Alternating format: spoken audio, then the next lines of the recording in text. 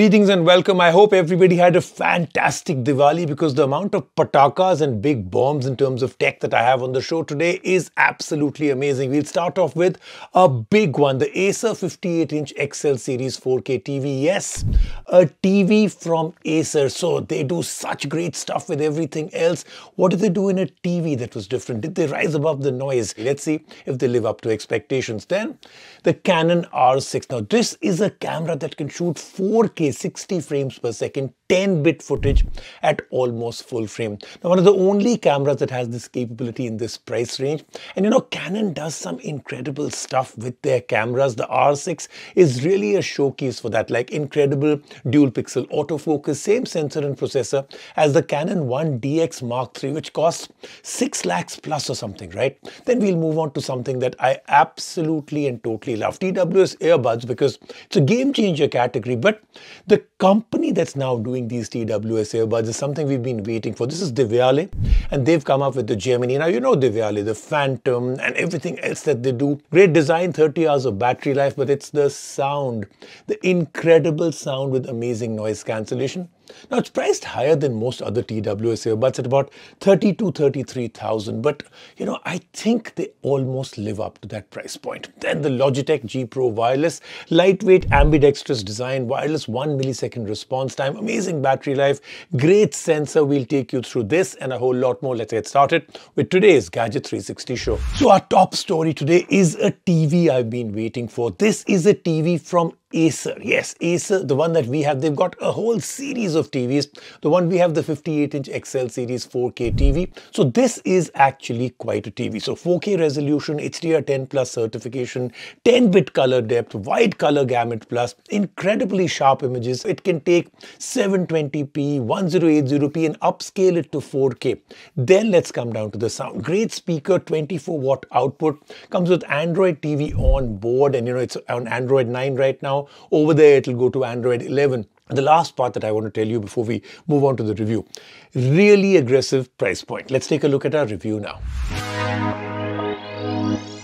Acer's new XL Series 58-inch 4K UHD TV is not here to be a standard bang for buck product. A lot of other TVs are there to try out for that title. Acer designed and priced this TV to hit it out of the park. And that's what they have done by combining a great set of features with an unreal price. And today we will explain all of these features along with revealing the unreal price. Starting with the design, Acer has managed to create something amazing. The TV has a solid build and is extremely sleek in its depth. The front of the TV has a complete lack of bezels around the 58 inch panel. The bezels are thin enough that the display looks even bigger when switched on. The stand that comes along with the TV is built well. It is strong enough to easily handle the weight of the huge panel. The panel itself is beautiful. It is a 4K TV with an HDR10 Plus certification, 10-bit color depth and wide color gamut plus. This basically translates to an incredibly detailed and sharp panel capable of displaying an image that has deeper blacks and detailed highlights along with accurately reproducing 1.07 billion colors. The vibrancy, the colors and details are mind blowing. And the brightness is never less, even for a well lit room due to the 420 nits of brightness this TV has. And even while watching standard 1080p content, the TV is capable of analyzing every frame, upscaling it to 4K, and then deepening the shadows, increasing the contrast to produce an incredibly upscaled image quality. For the sound, the TV comes with inbuilt speakers which can produce a sound that will easily fill a mid-sized room, setting a wide soundstage and crystal clear dialogues with their 24 watt output. It also comes with Android TV on board, which provides easy access to all OTT platforms apart from the pre-installed ones. And the UI and performance of the software are smooth with the backing of a quad-core processor, 2GB of RAM and 16GB storage. As for attaching gaming consoles and soundbars, the TV has three HDMI ports on the back, with one of them being an HDMI ARC port for shifting audio to a capable soundbar. And this entire feature-rich package comes at an unreal price of 40,999. That is exactly what knocking it out of the park means. And at such a price, it becomes an extremely easy recommendation for us to give. All right, so we really enjoyed it, and I'm glad a company like Acer comes in with Acer branded TVs. But why did they do it now, coming into a market that is so aggressive, that is so competitive now? So we spoke to Anand Dubey, CEO of Indkal Technologies. So Anand, thank you so much for joining us on the show. We've just reviewed your 58-inch XL series, but with so many brands currently competing in the TV market, what do Acer TVs provide that makes them different from the rest of the market? Uh, in a television, the core features are uh, uh, the, the display and the audio. And uh, uh, that's where we are focusing. The development of the product starts with the with the focus on you know being able to uh, provide incremental benefits to the customers of acer televisions. Uh, uh come out with many small value additions to the display. For example we have the intelligent frame frame stabilization. We have dynamic calibration. And we have UHD upscaling. All of this, what uh, what all of this means is, uh, at the end of the day, when the customer is consuming content, is is looking at uh, the television, uh, they're getting better quality and that's that's essentially what we're doing. Okay and then the size of tvs being sold in india is getting bigger and bigger every year. Even though there was a time where india was predominantly a market with 32 inch tvs so how do you see the indian market growing in the future when it comes to the size of the tvs in general we are seeing a growth. I mean you rightly said we are seeing a growth uh, or, or uh, a growth of uh, the the uh, sizes which are in tune of say 43 and then above 50 55 uh, all of this is going to culminate into the growth of the industry. It, it, it's definitely growing. I, I mean obviously uh, it still remains a 32 centric market but at the end of the day we are looking at a at a considerable growth uh, over the over the last two three years and, and that's going to accelerate absolutely certain about that. Thank you so much anand for joining us on the show. We look forward to tracking all the progress with acer and your brand let's move on now to our next big top story the canon r6 now i have to tell you this. This is a great camera. Simple very familiar design has two sd card slots carries the same image processor and sensor from the canon 1dx mark iii now i'll tell you some of the things we enjoyed using on this. First of all the dual pixel autofocus works really well. Whether you're taking photographs or videos works really well. Then one of the only cameras capable of shooting at 4K, 60 frames per second, 10-bit footage. And you know, if you're really into way professional stuff, it even does C-Log format in this price range. Many other cameras cannot do it. The price point is just above 2 lakh rupees. Last year, when Canon finally came out with their follow up to their first mirrorless camera, the Canon R5, it took up most of the attention for reasons both good and bad. But the one camera that did not get much attention was the R6, a hybrid photo and video camera. And despite the lower megapixel count on its sensor, this camera is severely underrated. And today, in our review of the Canon R6 a year later, we tell you why. So, the Canon R6 sports a simple and familiar design. The top has a shutter button, a video recording button, and a wheel to switch between shooting modes. On the other side of the hot shoe is a power switch. The right side has a flap that covers the two SD card slots on it. The left side has an external mic port, a headphone jack, a mini HDMI port, and a USB-C port for data transfer and charging. The front has a 3-inch LCD touchscreen along with controls for camera and menus. The camera sports the new RF mount compatible with all the new RF lenses or the older EF lenses through an adapter. The grip, like other Canon cameras, is good enough that the camera can easily melt into the user's hand with all the controls becoming super intuitive. Internally, it carries the same image processor and the 20.1 megapixel sensor as the much more expensive 1DX Mark III, a DSLR that costs 6,9495. The images that come out of such a camera are amazing. The details, sharpness, and colors are as good as they can be. The dual pixel autofocus works well on all pictures with the camera being fully capable of keeping moving subjects in focus. Even pictures clicked at 10,000 to 12,000 ISO look pretty sharp with no noise. And the amount of information present in all of the pictures make them easily malleable while editing. When it comes to making videos, the camera is just as stellar. It is one of the only cameras capable of shooting almost full frame 4K 60fps 10-bit footage in Canon log format in this price range. This basically means that you can shoot 4K video at 60 with the dynamic range and colors capable of being changed while editing without the footage breaking down. It works especially well for people who like to grade the colors of their videos after they have been shot. The autofocus works just as fast as it does on the Sony cameras for videos and the more expensive Canon R5. The Canon R6 is still an incredibly capable and severely underrated camera, but in the end, who is it meant for? It is meant for the newer filmmakers and photographers. Yes, the R5 comes with a much sharper sensor and more video features, but it costs a lot more, let alone the cost of the very expensive RF lenses that you will have to buy, because of the complete lack of third party RF lenses from Sigma or Tamron. So, it is much better to get an R6 instead of the R5 and invest the money that remains in RF lenses. Hence, for all the new filmmakers and photographers, the R6 priced at 2,15,995 will be our firm recommendation. All right, it's time now for the Devialet Gemini. So, Devialet is a company that's really made its mark in terms of the Phantom and everything else that they were doing. What happens when they come into the TWS earbud? Now, this is a completely different market, but expectations are obviously sky high. So, fit is good, snug, comfortable for long hours. Case is a bit large, so it's not very pocketable, of course.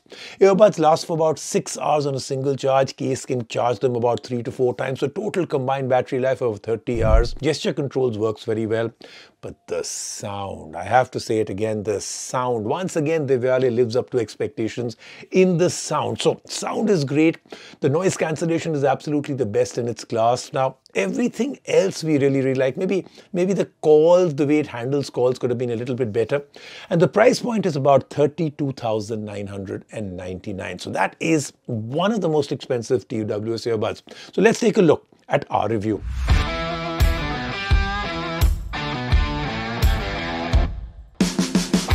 Devialet has been the brand synonymous with luxurious audio. While our experience with them was limited to speakers, we got our hands on the Gemini earbuds, an intent from Devialet on truly wireless earbuds. These earbuds come with some interesting tech at work, with a different design, active noise cancellation, and an expensive price tag. But the question that needs to be answered is whether they're worth it or not. And today we will answer just that. The Gemini in terms of design look different from most of the other truly wireless earbuds. Fitting them in your ears is pretty easy. Plug them straight into your ears and that's about it. No twisting, no locking. While this stood true in our testing, fit in the case of earbuds is always subjective. The size may seem big, but plugging these earbuds in and using them for hours is comfortable. As for getting the perfect amount of isolation, there are four sizes of silicone earbuds to choose from. The case is also different, but not for the better. It is large, hence not easily pocketable, and rather than flipping open, it slides open. Hence, if you manage to keep them in your pocket, make sure you take them out carefully, without sliding open the case. In terms of battery life though, the case is excellent. The earbuds themselves last for 6 hours and the case can charge them 4 times over. This translates to a combined battery life of 30 hours. The case has a USB-C port and can also be charged wirelessly. As for using the earbuds, there have been no bugs that we had to deal with. The battery level shows up in the Devialet Gemini app available for all smartphones. The app can be used to set the level of noise cancellation, select any EQ presets or configure it, and alter the touch controls on the earbuds. All the gestures work well without any errors. Now, the most anticipated aspect to talk about any pair of truly wireless earbuds how do they sound? These earbuds sound great. The sound is incredibly dynamic.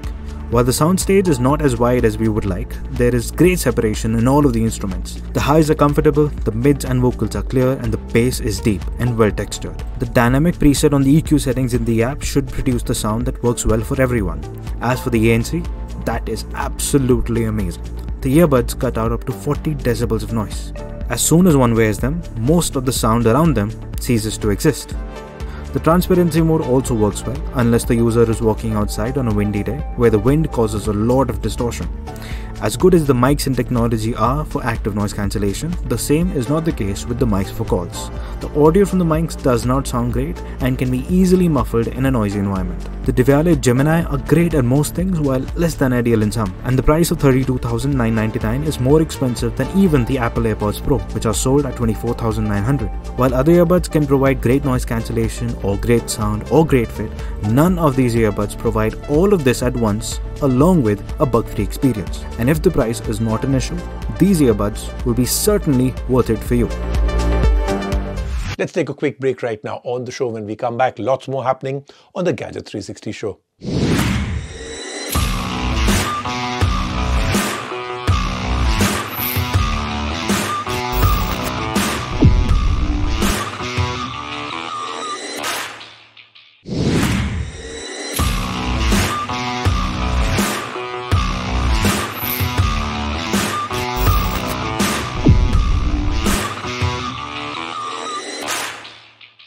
Now let's move on to the Logitech G Pro wireless gaming mouse. A high performance mouse meant for gamers comes in ambidextrous design that practically feels very weightless. Comes with an extremely precise sensor. So for gaming, that is the big deal. Comes with an illuminated logo, RGB lighting. Uh, you last about 60 hours on a single charge. Great clickable buttons with a firm scroll wheel. So this is quite the gaming mouse and it's priced at about 11,000 rupees. A gaming mouse is very different in every way from a normal mouse found in most places. They are focused on precise tracking, weightless design, responsive and crisp buttons with the response latency next to nothing. And today, based on this, we are reviewing the Logitech G Pro Wireless, a mouse designed for professional esports gamers and casual competitive gamers. We find out what it gets right, what it gets wrong, and if it is worth your hard earned money.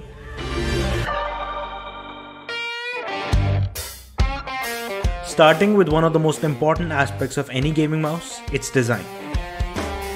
Logitech has done well with the G Pro.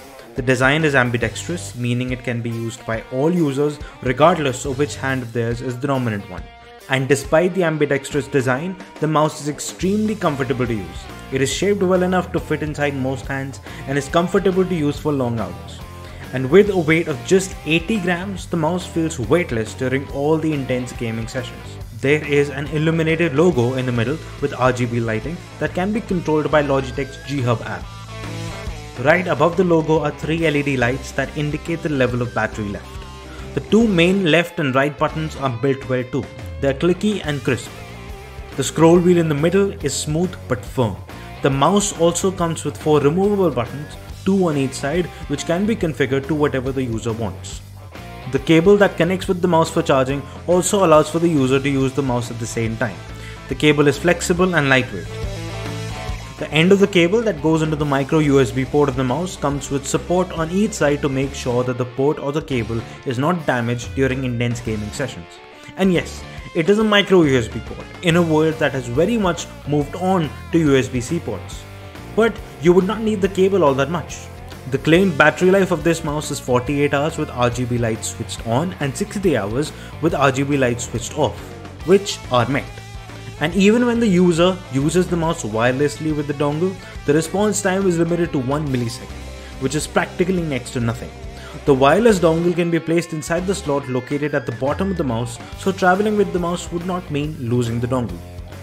Now, another extremely important aspect for a gaming mouse is the sensor underneath it. Logitech shines through here as well. The 25K sensor hits up to 25,600 dpi, which simply means that the tracking is extremely smooth and precise. The sensitivity of the mouse can be altered too. So, in case the user wants to use the G Pro for work instead of gaming, they can alter the sensitivity to something more usable for normal tasks. The Logitech G Pro Wireless has been impressive in all aspects when it comes to a gaming mouse. It gets the design right, the buttons right, and the sensors right.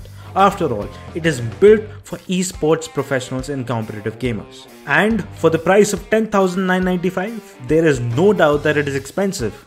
But it is certainly worth it with all the things it gets right and for the premium sensor it has.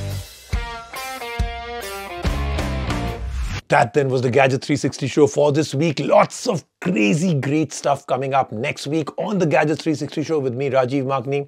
Don't miss it.